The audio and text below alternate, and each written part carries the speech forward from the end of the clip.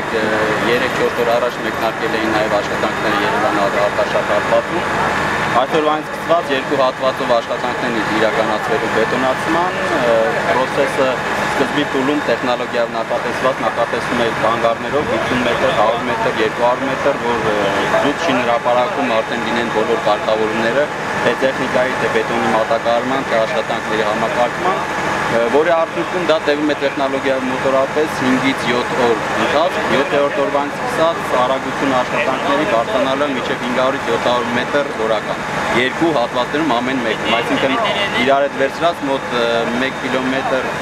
մինչև 1 կիլոմետր 400 մետր աշխատանք երկու հատվածներով կտարվի։ Եվ ժամանակացույցը ինչպես է մտչել ես բետոնի հաստության, խտության ինչ որական։ Բետոնի որակը B30 է, ամրությունը 4-ից 5 մեգապասկալ ճկունություն, ինքը արմատուրայով է ամրացվում, շատ ամուր բետոնա լինելու,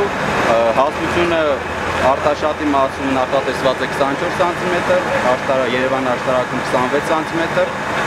դա տեխնոլոգիական էլի լուծումներ են նախագծային, աշխատանքների ընթացքը այս տարի բետոնացման աշխատանքները ըստ շինարարի ներկայացված աշխատանքային գրաֆիկի պետք է ավարտվեն նոյեմբերի վերջ,